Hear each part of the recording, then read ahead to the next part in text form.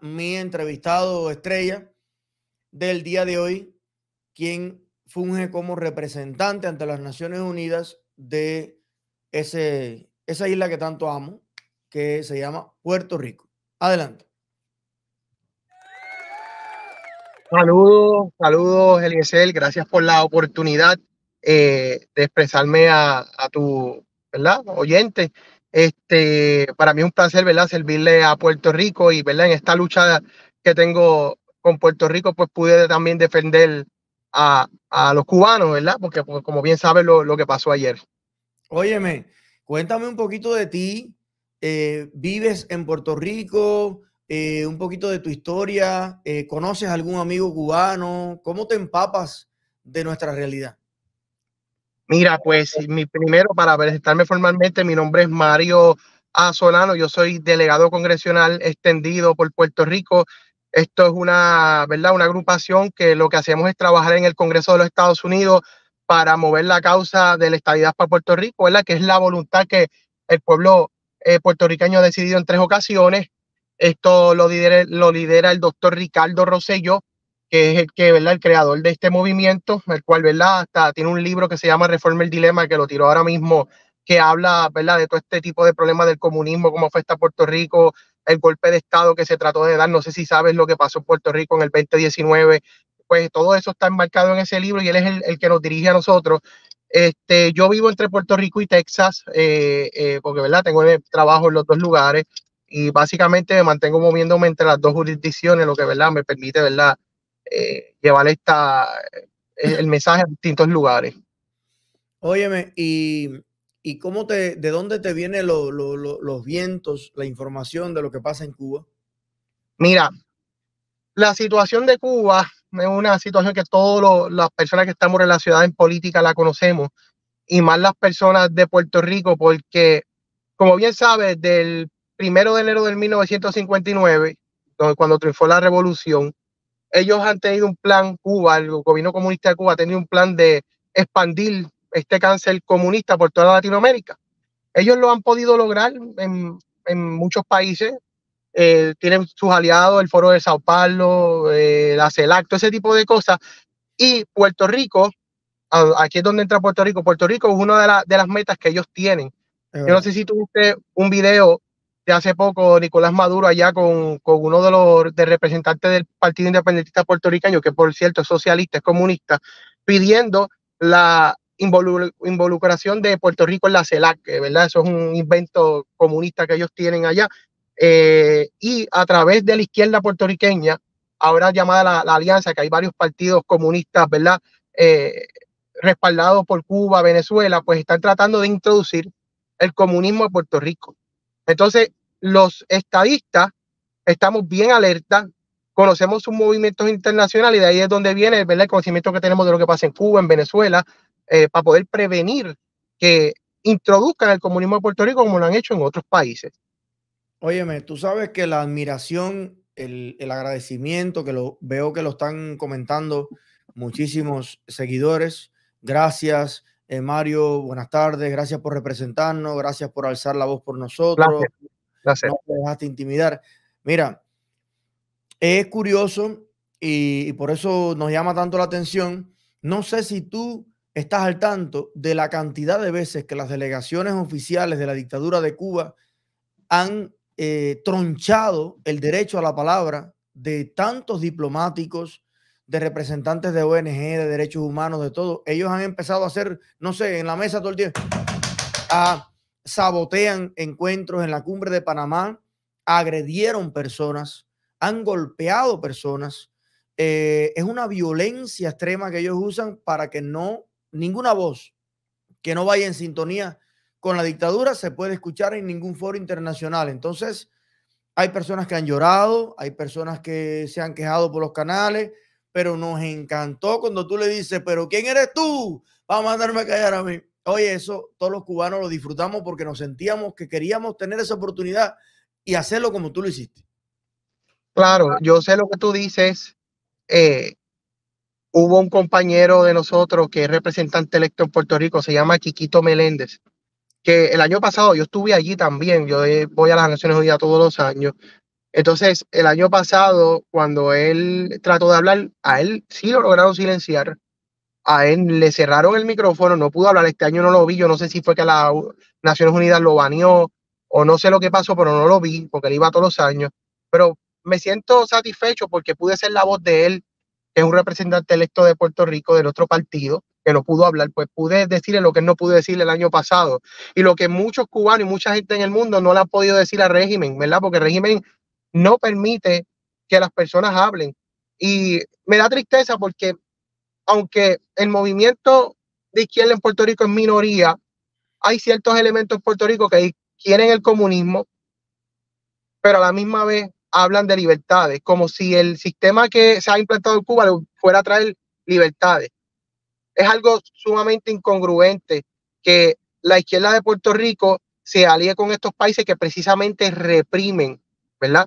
El derecho a hablar y el derecho a todo, porque en Cuba tú eres cubano, tú sabes que allí no, no se puede decir nada porque si dices algo vienen los de la seguridad del Estado y te entran a palo y no te dejan hablar.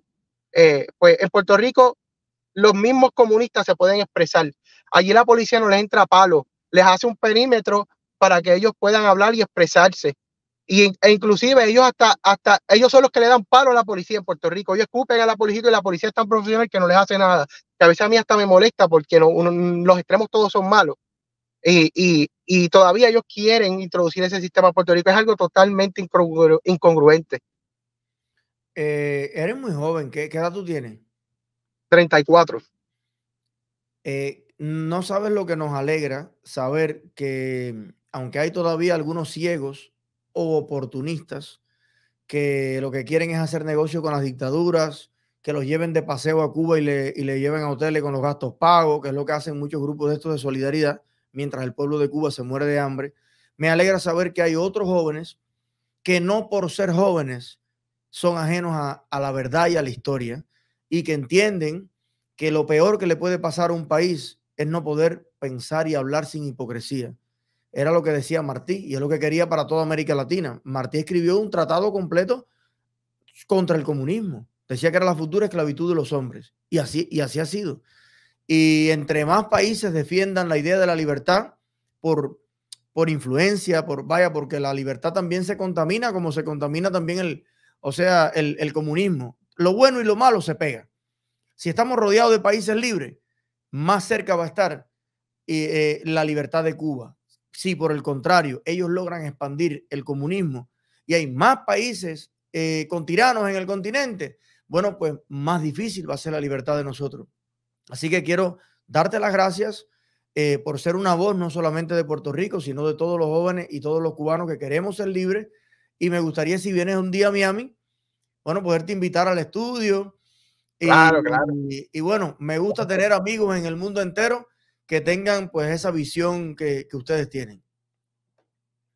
Sí, le quiero mandar un mensaje a los jóvenes que nos puedan estar viendo que la mayoría de las personas que en los países libres capitalistas se afilian a estos movimientos es la juventud, porque la juventud pues está creando su forma de pensar y los comunistas son muy hábiles en, moldearle eh, las cosas a su manera. Eh, les quiero decir que el comunismo no deja nada, el comunismo lo que deja es falta de todo, eh, a mi gente de Puerto Rico que me puedan estar viendo de la alianza. Esta alianza lo que va a traer es un desastre a Puerto Rico. Ya ustedes pueden ver cómo está la hermana Cuba, Venezuela, Nicaragua bajo el régimen comunista. Eh, Cuba antes del 59 era un país adelante en muchas cosas. La, la televisión de color se estrenó allí, muchísimas cosas tenían ustedes. Y desde que cayó esta dictadura comunista, pues todo fue desapareciendo. El comunismo es lo más destructivo que ha creado el ser humano. Eso es, lo más, y es lo más, más gente que ha matado en el mundo. Eh, es preciso que entiendan esto bien y no traigan eso a nuestra isla. Eh, por ejemplo, el movimiento Victoria Ciudadana, que es uno de los partidos de la alianza, hasta el logo de ellos es igual al logo del partido de Maduro en Venezuela.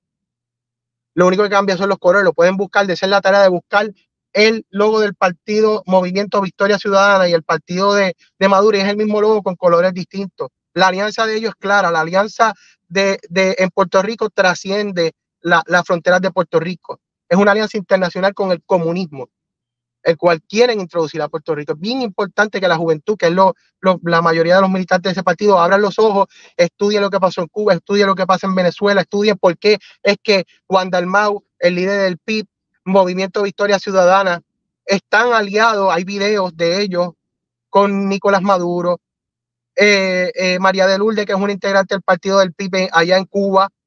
¿Sabe? Hay evidencia suficiente en la internet para comprobar que esta alianza es comunista y lo más, lo más hipócrita es que ellos tratan de esconder que no son comunistas, pero es que hay material fílmico, material fotográfico de que la alianza es clara con los comunistas. Y nuestro país, Estados Unidos de Norteamérica, es tan libre que aún ellos aliándose con países enemigos, no los meten presos ni les caen a palo.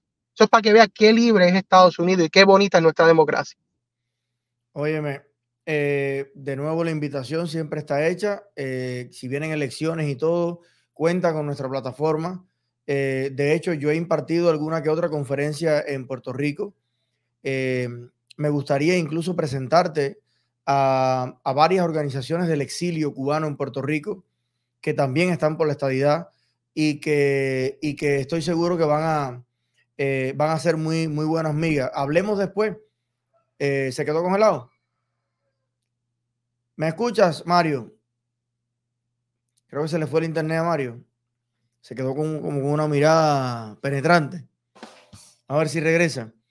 Eh, me gustaría que organicemos incluso algo especialmente para la juventud, para que entiendan bien, porque yo en lo que sí soy doctor Cintanera, Quinto Dan, en que explicar el, sistema comunista cubano, te lo puedo, vaya, eh, soy uno de los que lo ha sufrido, no el que más, probablemente, pero lo he sufrido bastante y te lo puedo explicar muy bien. Así que a lo mejor organizamos una conferencia, algo en Puerto Rico, para desmantelar y desenmascarar todo esto.